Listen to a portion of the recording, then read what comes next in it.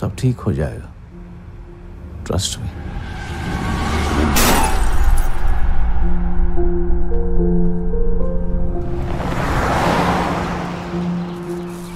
बीच रात में ट्रक ऐसा सीधा मार के भाग गया।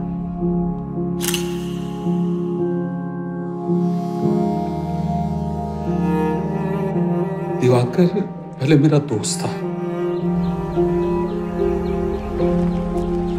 क्या मुझे फॉलो कर रहे हैं?